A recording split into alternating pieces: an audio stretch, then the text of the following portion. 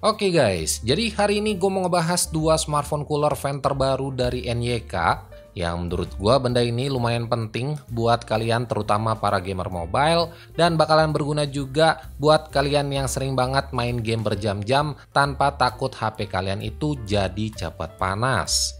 Nah, buat cooler fan-nya sendiri, di sini gue dikirimin yang seri Haze H2 dan Tundra H3, di mana buat keduanya ini bakalan dibanderol dengan harga yang cukup terjangkau dan gak bakalan bikin kantong kalian jebol.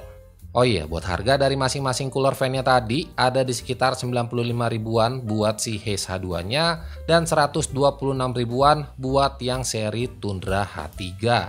Dan buat kedua cooler fan-nya tadi, sebenarnya juga ada beberapa perbedaan yang mungkin bisa jadi bahan pertimbangan kalian sebelum ngebeli salah satu dari fan coolernya nanti. Nah, tapi sebelum gue bahas lebih jauh lagi soal si fan coolernya ini, di sini buat masing-masing kelengkapannya. Yang pertama buat si H2 kalian bakalan dapetin box Mika kayak begini, yang isinya sendiri ada satu unit fan coolernya, terus ada kabel USB Type C, satu buku petunjuk manual, dan satu stiker magnetnya.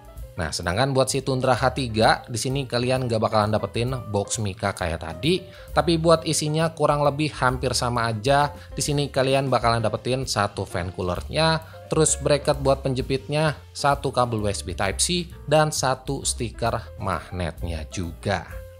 Oke, kalau ngomongin soal unitnya, kedua fan cooler ini udah jelas punya perbedaan dari bentuk fisiknya. Kalau yang Haze H2 ini punya bentuk yang lebih mengkotak, sedangkan buat yang Tundra H3 dia itu punya bentuk lingkaran yang secara look si H3 ini jauh lebih simple dari versi H2-nya tadi.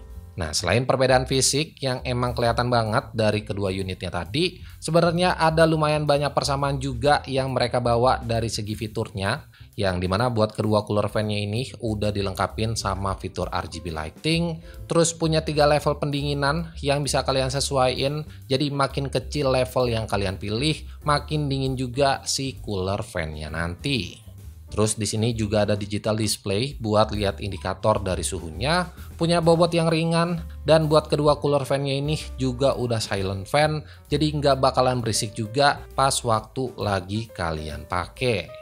Oh iya, buat penggunaan dari coolernya ini, di sini kalian tinggal jepit aja di smartphone kalian pakai bracket yang udah dikasih. Tapi semisal kalian nggak mau ribet dan pengen tetap kelihatan simple, ya tinggal pakai aja yang sistem magnetnya tadi. Oke, kalau secara spek, kedua cooler fan ini menggunakan sistem Peltier atau TEC yang selama penggunaan gua di beberapa hari terakhir keduanya ini punya hasil yang cukup berbeda di mana pas waktu gua coba nyalain tanpa gua tempelin ke HP suhu keduanya ini agak berbeda sekitar 10 derajat. Jadi kalau yang Hes H2 ini mentoknya itu cuma di 5 sampai 6 derajat sedangkan si Tundra H3 nya bisa sampai di minus 1 sampai minus 6 derajat Nah kalau buat pengetesan pas main game, ini gue udah cobain beberapa kali mainin Mobile Legend dengan durasi sekitar setengah jaman. Buat suhu dari yang HES ini, dia mentok di sekitaran 10-11 derajat. Padahal gue udah pakai di level kipas yang paling kenceng, tapi tetap aja gue dapat kurang lebih di angka segitu.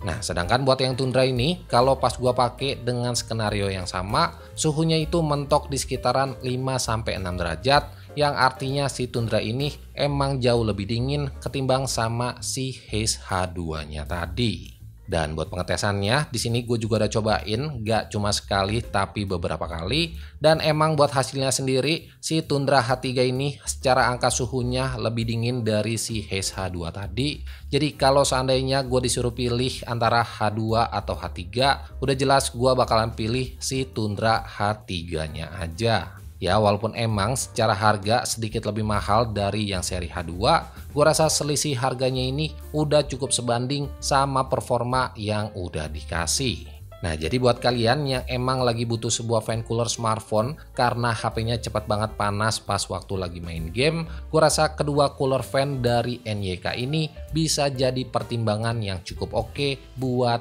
kalian beli. Well, mungkin segitu aja review singkat gua buat cooler fan smartphone dari NYK ini. Jadi like aja kalau kalian suka sama videonya dan share juga ke teman-teman kalian kalau video ini bermanfaat. So, gue Andri dari Good Stuff ID pamit. Sampai ketemu di video-video selanjutnya.